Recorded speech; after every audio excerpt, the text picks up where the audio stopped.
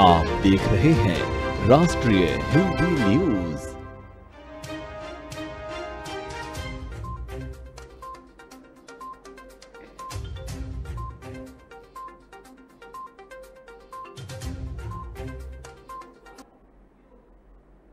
नमस्कार, आप देख रहे हैं राष्ट्रीय हिंदी न्यूज़ और आपके साथ हूँ मैं अंजना राठौर। खबरें लगातार में आपका स्वागत है। जी सेवन समिट के लिए जर्मनी पहुँचे प्रधानमंत्री नरेंद्र मोदी ने। सोमवार को कनाडा के प्रधानमंत्री जस्टिन ट्रूडो से मुलाकात की। जी सेवन समिट में ग्रुप फ़ोटो सेशन के दौरान एक खास पल को कैद किया गया, जब अमेरिकी राष्ट्रपति जो बाइडेन को भारतीय प्रधानमंत्री नरेंद्र मोदी से खास अंदाज में मिलते देखा गया।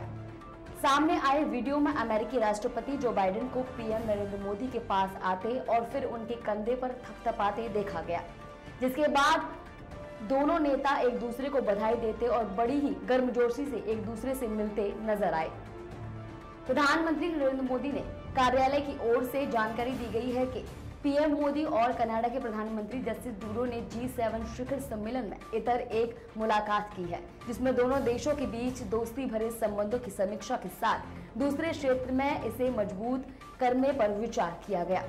फ़िलहाल विदेश मंत्रालय के प्रवक्ता अरिंदम बगाची ने बताया है कि दोनों देशों के नेताओं ने द्विपक्षीय संबंधों पर चर्चा के साथ ही दोनों देशों ने सुरक्षा और आतंकवाद से निपटने में समन्वय बढ़ाने पर आपसी सहमति भी व्यक्त की है। इसके अलावा दोनों देशों के बीच व्यापार और आर्थिक संबंधों को बढ़ाने के लिए भी चर्चा हुई। वहीं जी सेवन शिखर सम्मेलन के दौरान और उसके दूसरे दिन सभी नेताओं ने यूक्रेन रूस युद्ध पर बातचीत की। इसके साथ ही सम्मेलन में सभी नेताओं ने संयुक्त रूप से बेलारूस को रूसी परमाणु मिसाइल ट्रांसफ़र करने को गंभीर चिंता बताई। वहीं इटली के प्रधानमंत्री मोरियो ड्रेगी ने यूक्रेन के राष्ट्रपति व्लादिमीर जेलेंस्की के साथ एक सत्र के दौरान नेताओं से कहा, हम यूक्रेन के साथ एकजुट हैं क्योंकि अगर यूक्रेन हारता है तो सभी लोकतंत्र हार जाते हैं। अगर यूक्रेन हारता है तो ये तर्क देना कठिन होगा कि लोकतंत्र सरकार का एक प्रभावी मॉडल है। वहीं जी देशों के नेता यूक्रेन को उनतीस दशमलव पाँच अरब डॉलर का आर्थिक पैकेज देने के लिए सहमत हो गए हैं। इस धनराशि से यूक्रेन को 2022 में सरकारी मशीनरी चलाने और रूसी हमले से तबाह हुई आवश्यक जन सुविधाओं को बहाल करने में मदद मिलेगी।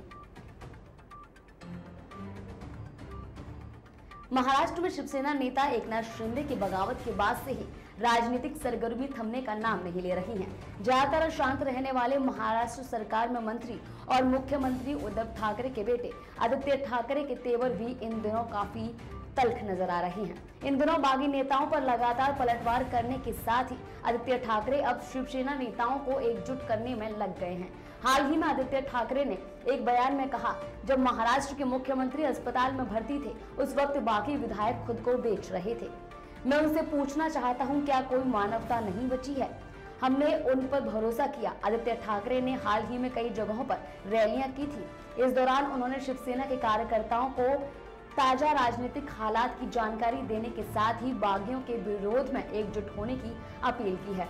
फ़िलहाल इस दौरान उन्होंने बागियों के साथ मिलकर काम करने के भी संकेत दिए हैं। आदित्य ठाकरे का कहना है कि अगर आपको शिवसेना में वापस आना है तो आपका स्वागत है। आप आ सकते हैं। माफ़ी मांगे और मिलकर काम करें। फ़िलहाल एकनाथ शिंदे के सांसद बेटे ने भी आदित्य ठाकरे के खिलाफ मोर्चा खोल दिया है और उनके बयान पर पलटवार किया है। एकनाथ शिंदे के बेटे सांसद श्रीकांत शिंदे ने कहा, उद्धव सरकार अल्पमत में है। हम जो कर रहे हैं वो बगावत नहीं, जनता की मांग है। श्रीकांत के इस बयान पर आदित्य ठाकरे ने उन्हें इस मुद्दे पर ना बोलने की सलाह दी है।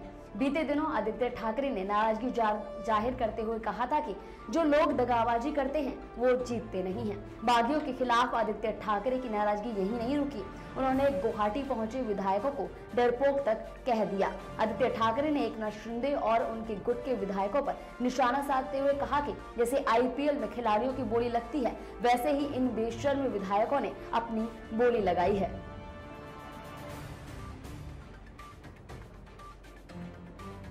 भारत पाकिस्तान में चार दूतावासों के ट्विटर अकाउंट को ब्लॉक कर दिया है। जानकारी के मुताबिक इन दूतावासों पर आरोप है कि ये अपने ट्विटर अकाउंट से झूठी खबरें और दुष्प्रचार किया करते थे। माना जा रहा है कि भारत की ओर से अभी और कुछ अन्य दूतावासों पर इस तरह की कार्रवाई हो सकती है। वहीं पाकिस्तान के विदेश मंत्रालय ने ट्वीट कर कहा है कि भारत में ट्विटर द्वारा ईरान टर्की मिस्र और संयुक्त राष्ट्र में पाकिस्तानी दूतावासों के अकाउंट पर कार्रवाई करते हुए बंद कर दिया गया है। उन्होंने आग्रह किया है कि इनके अकाउंट को तत्काल बहाल किया जाए। बता दें, ये पहली बार नहीं है जब पाकिस्तान के किसी ट्विटर अकाउंट पर एक्शन लिया गया हो। इससे पहले भी ट्विटर द्वारा पाकिस्तान में राष्ट्रीय सार्वजनिक प्रसार रेडियो पाकिस्तान के अकाउंट को बंद कर दिया गया था। असम में बाढ़ की स्थिति में रविवार से सुधार देखने को मिल रहा है।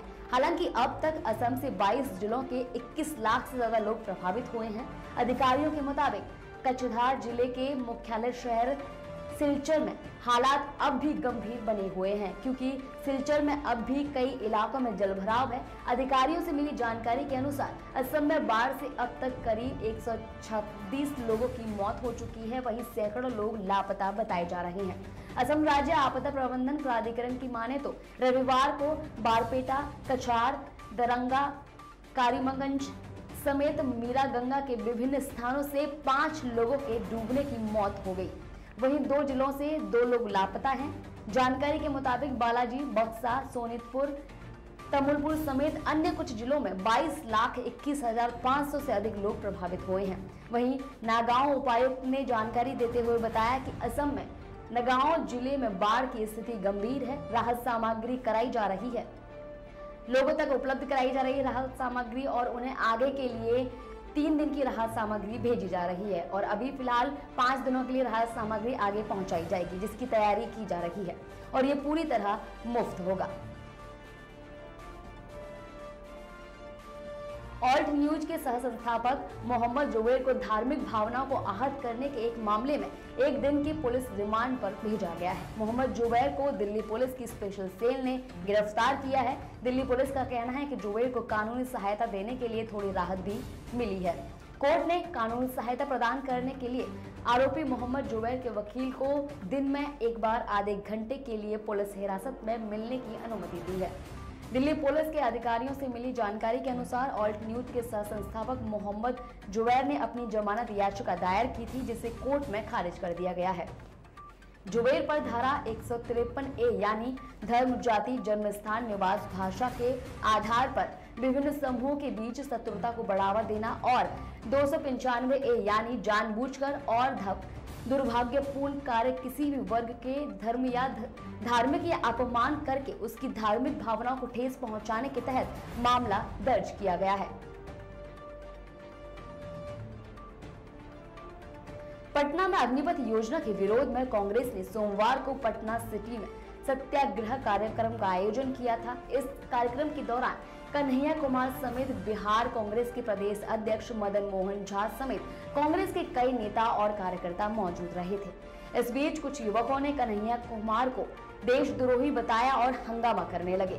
देखते ही देखते कांग्रेस कार्यकर्ता और नारेबाजी करने वाले युवकों के बीच मारपीट शुरू हो गई। दरअसल कांग्रेस नेता कन्हैया कुमार मंच से भाषण दे रहे थे। इसी दौरान एक युवक विरोध करने लगा। नारेबाजी होने लगी, जिसके बाद कई और युवक भी उग्र हो गए। युवाओं ने देशद्रोही बताकर हंगामा किया। उनका कहना है कि कन्हैया कुमार देश के खिलाफ बातें करते हैं। इस बीच कार्यक्रम खत्म हुआ और सिक्योरिटी के बीच कन्हैया कुमार को निकाला गया। बता दें कि सेना में बहाली के लिए केंद्र सरकार की अग्निपथ योजना के विरोध में कांग्रेस सत्याग्रह कर रही है। कन्हैया कुमार ने अग्निपथ योजना के विरोध में मंच से भाषण के दौरान कहा कि हम अपना आक्रोश व्यक्त करेंगे, लेकिन शांतिपूर्ण तरीके से सत्याग्रह के माध्यम से करेंगे। आगे कहा था कि कहते हैं, झूठ चाहे कितना भी बड़ा क्यों ना हो, सच से जीत नहीं पाता है। ये लड़ाई हम ज़रूर जीतेंगे।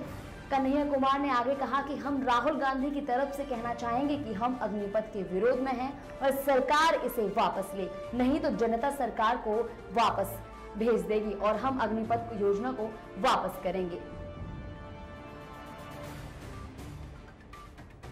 देश की राजधानी दिल्ली में कोविड 19 ने एक बार फिर से अपना सितम ढाना शुरू कर दिया है। कोविड के ओमिक्रॉन वेरिएंट का एक नया सब वेरिएंट बी ए दशमलव पाँच मिला है। दक्षिणी दिल्ली, दक्षिणी पूर्वी और मध्य दिल्ली में इस नए वेरिएंट के कुछ मामले पाए गए हैं। राष्ट्रीय रोग नियंत्रण केंद्र के अधिकारी बताते हैं कि दिल्ली में ओमिक्रोन के इस नए सब वेरिएंट के मामले ज़रूर पाए गए हैं, लेकिन इससे किसी को भी घबराने की ज़रूरत नहीं है, क्योंकि इससे गंभीर संक्रमण नहीं दिखाई दिया है। वहीं अगर हम बात राजधानी दिल्ली की करें तो यहाँ पर भी कोरोना के मामलों में तेज़ी से बढ़ोतरी देखी गई है। बीते 24 घंटे में दिल्ली में कोरोना के 628 नए मामले सामने आए हैं। तेईस और तीन लोगों की मौत हो चुकी है। वहीं संक्रमण दर सात दशमलव आठ फ़ीसदी दर्ज की गई है। कुल सक्रिय मामलों की संख्या चार हज़ार सात सौ सत्रह है, जबकि एक हज़ार ग्यारह लोग ठीक होकर अपने घरों को पहुँचे हैं। राजधानी दिल्ली में अगर हम पिछले 10 दिनों की बात करें तो 17 जून को जहाँ दिल्ली में 190 कंटेनमेंट जोन थे, जो 24 जून तक बढ़कर 322 हो गए और मध्य दक्षिण पूर्वी दिल्ली से लिए गए जिन नमूनों की जिनोम अनुक्रमण किया गया उनमें से करीब पाँच प्रतिशत में बी ए दशमलव पाँच सब फार्म होने की पुष्टि हुई है। वहीं दक्षिण दिल्ली से लिए गए करीब दो प्रतिशत नमूनों में इसकी मौजूदगी मिली है। अधिकतर नमूनों में ओमिक्रॉन के बी ए दशमलव दो सब फॉर्म के होने का पता चला है। विशेषज्ञों के अनुसार बी ए दशमलव पाँच तेज़ी से फैलता है, लेकिन इससे गंभीर संक्रमण नहीं होता है।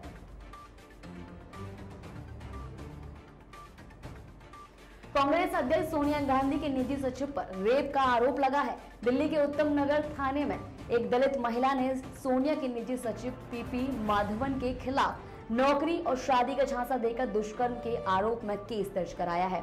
26 जून को दिल्ली के उत्तम नगर थाने में एफआईआर दर्ज की गई है। महिला ने एफआईआर में बताया कि उसका पति कांग्रेस कार्यालय में होर्डिंग लगाने का काम करता था, लेकिन दो साल पहले उसकी मौत हो गई थी। इसके बाद उसने नौकरी के लिए पीपी माधवन से संपर्क किया। माधवन ने उससे बातचीत की और बातचीत के दौरान कई बार उनकी मुलाकात भी हुई। महिला का आरोप है कि माधवन ने नौकरी और शादी का झांसा देकर उसके साथ कई बार रेप किया। वहीं आरोपों पर माधवन ने कहा है कि वो महिला को जानते हैं, लेकिन आरोप गलत हैं। एफआईआर के मुताबिक 21 जनवरी 2022 को माधवन ने पहली बार महिला को अपने घर पर बुलाया था। इसके बाद माधवन ने उसे बताया कि उनका अपनी पत्नी से तलाक हो चुका है। महिला की कई बार माधवन से मुलाकात हुई। इस दौरान कई बार महिला ने अपने साथ ज़बरदस्ती की बात एफआईआर में कही है। उत्तम नगर थाने में महिला की शिकायत पर माधवन के खिलाफ धारा तीन सौ छिहत्तर के तहत केस दर्ज किया गया है और आगे की जाँच की जा रही है। फ़िलहाल के लिए खबरों में इतना ही। देखते रहिए राष्ट्रीय हिंदी न्यूज़। जय हिंद।